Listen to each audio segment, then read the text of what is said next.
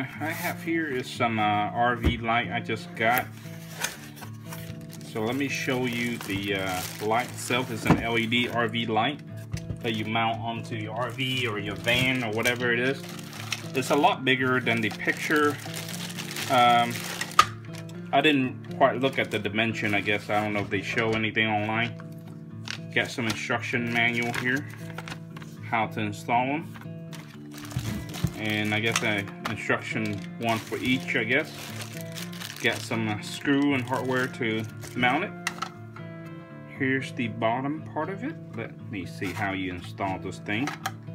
Or you supposed to slide? Okay.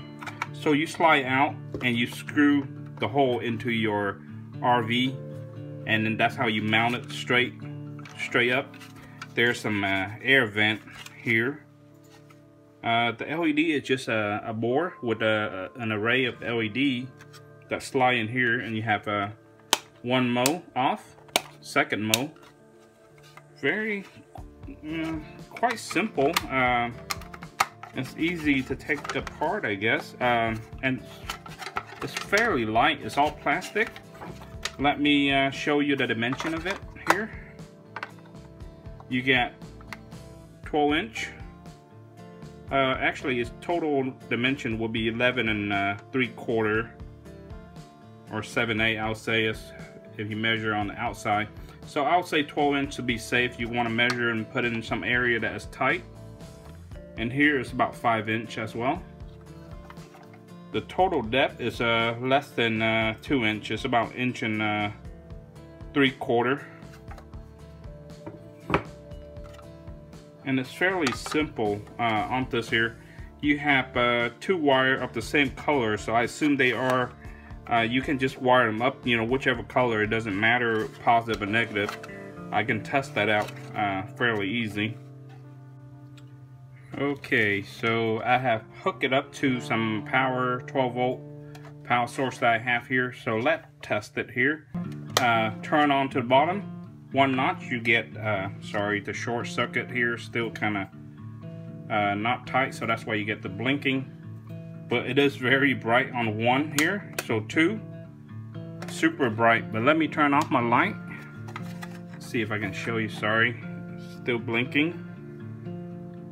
But it is very very bright.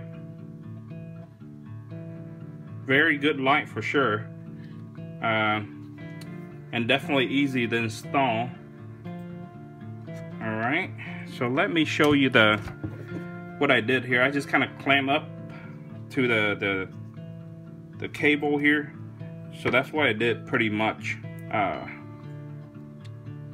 but, you know, since I don't know what is negative and what is positive, I can just unhook or hook it backward. It doesn't really do anything. It still light up just fine. So uh, it's reversible. It's very cool. Uh, I really like the light. Okay, all right. That's really all that I can show you here with, uh, this is two light here, turn on. So here is one light. It's still very bright. Uh, more than enough, definitely for sure in a, an RV. And I'm gonna see how many amp uh, this thing draw. I'm not sure. I can tune down. I'm have it uh, at 4 amp right now let me tune down to about two. So anything below two, I can see that the light get dim a little bit. So it must be at least over two amp on 12 volt. So let me turn it off. All right, so quick look here again on both sides.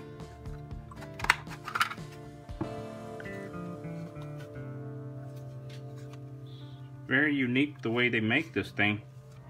Simple, but work very well.